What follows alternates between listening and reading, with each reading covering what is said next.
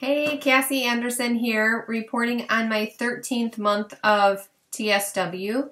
And so this last month, um, what I did was uh, it started off really rocky because January 1st was my one year anniversary date, and I gave you that report in my 12 month update, what that looked like for me. But it took a few days for my skin to just kind of calm down and feel better again, which was really kind of random that it happened like that because I've actually been doing fairly well for the most part, considering all that goes into withdraw. Um, so it was just really odd that it just happened to flare then and for just that amount of time. Anyways, so I recovered from that and then um, my skin actually felt like super normal, um, which is crazy because it felt like just like normal healed skin. And I was really hopeful and excited about that. And then it just kind of flared again. Um, but it wasn't like a really terrible flare. It was just semi bad. And now it feels like the last 48 hours, my hands have been um, kind of getting back into that normal feeling again. So, super hopeful that I'm somewhere at the tail end. Don't know, you know, what that looks like, weeks or months or whatever. But, um, but yeah, it's just really nice to to be able to move around and not feel like I have to be submerged in a bath all the time and, and whatnot. So I can move my wrists and all that good stuff. So, all right. So at the beginning of this month, um, my skin was just like really broken and, you know, really red and lots of open sores still. And so, um, because I had had such a bad flare that first week of January, I decided to um, jump in a bleach bath again. And, you know, the first day I did that, I felt better. And so the next day I thought, you know what, I'm just going to do it again and again and again. And I took like, I mean, I can't even tell you how many bleach baths I took in a row, like day after day, because I would, I don't, don't even do this, guys, because don't trust this, but I just like my mentality at that time was I just want to kill this thing once and for all and be done with it. like I was just sick and tired. Um anyhow, so fast forward, if you've been following me, you know that I'm a health and wellness coach and our team does 7-day cleanses all the time. And not that we participate in everyone, we like personally, we coach a lot of people through them more than we participate, but this one in January was my time to do it again. Um, cleanses are recommended once or twice a year. So I um I did a 7-day cleanse and you guys I've done this cleanse before. I have had the diet, I've taken the supplements that go with it. And usually when when you're when you detox, you feel some symptoms. It could be like a headache or migraine. It could be flu-like symptoms, um, kind of shaky and and all that. It could be constipation, um, stuff like that, because your body's getting rid of the toxins. And so in the past, I've experienced like a mild headache here and there, and I'm like, oh, it's normal the first day or two, no big deal. This time around, because I believe it was because of all those bleach baths, guys, I was so sick. Like, I had like this terrible migraine I could barely like open my eyes and walk. like I was so shaky, felt like I was to throw up. It was so bad. And um and it lasted for like the first 3 days and then I was fine. And then the last bit of the um so it would have been the last 4 days of the detox or the cleanse. My skin was like the normal, healthy, like beautiful skin, silky smooth. So isn't that so crazy? So, anyways, as much as I want to say that I was right in the moment thinking that the bleach baths were okay, um, I definitely, like, I had like the respiratory issues, like things like coming out of my system during that cleanse that I didn't even know were in me. And like I said, I've done the cleanse in the past. I really keep a pretty normal, um, strict routine, pretty consistent because I like a controlled environment and a controlled diet and everything. So, really, the only thing between any other cleanses and this one was the bath, the bleach bath. So, anyways, just to throw that out there, not to overdo it with the bleach baths. Um, that's not even recommended to do a daily bleach bath, by the way. I just, like I said, mentally, I just had had it. like, get me out of here.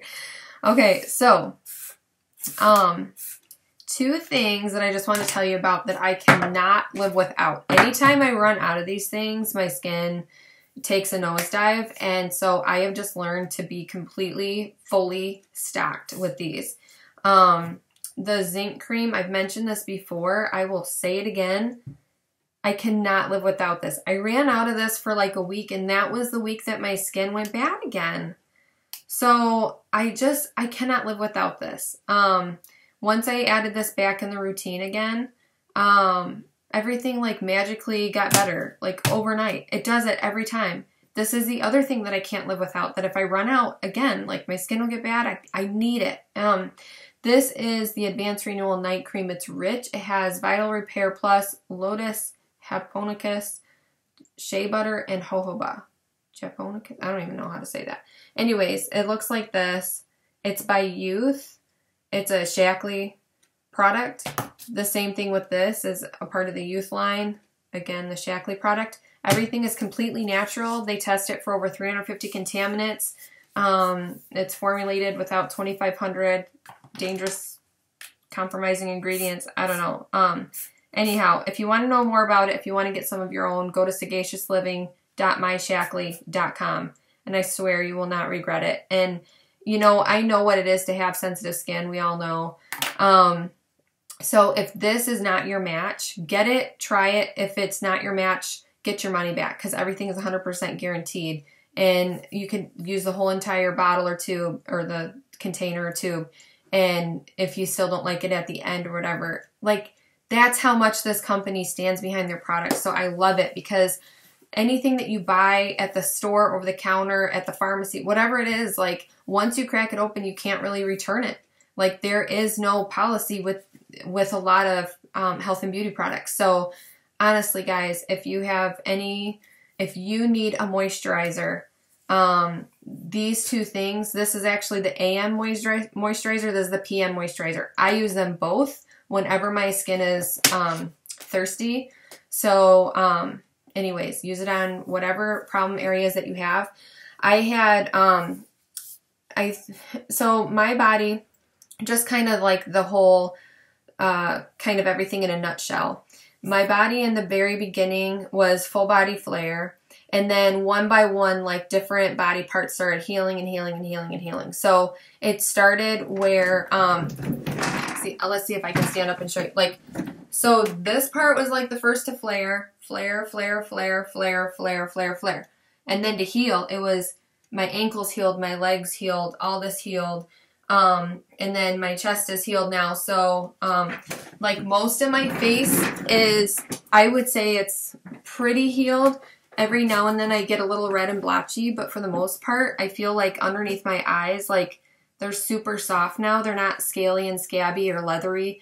Um, and then my arms, it's just basically from the elbows down. And every month it seems to be getting uh, more stable and healthier and whatever. So as of right now, I kind of have um, kind of some like red dot spots. I don't even know like where those came from, like because that's not usually my norm. But I mean, because usually it's like a solid patch or something. But I'll take speckles. That's okay.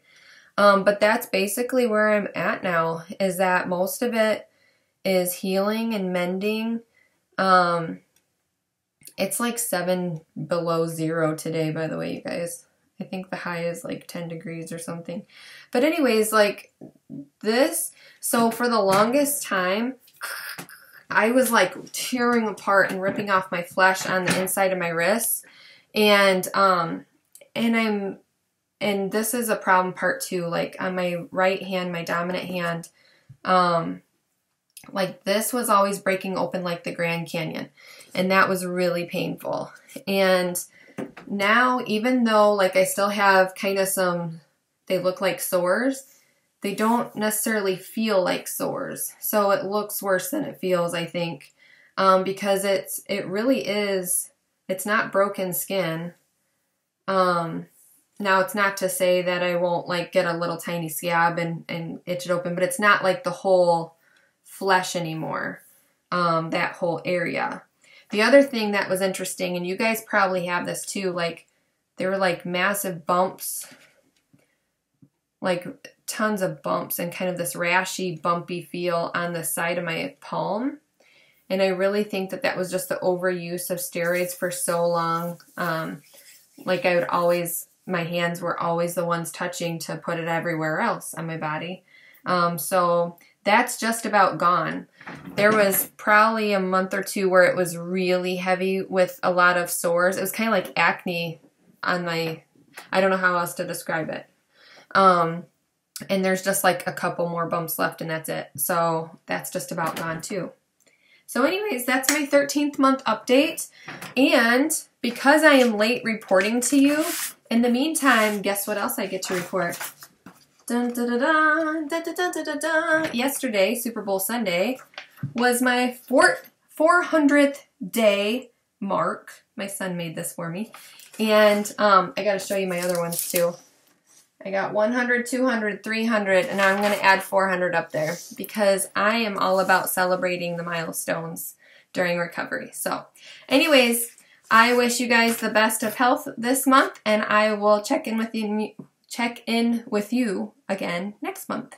All right, we'll talk to you later. Bye.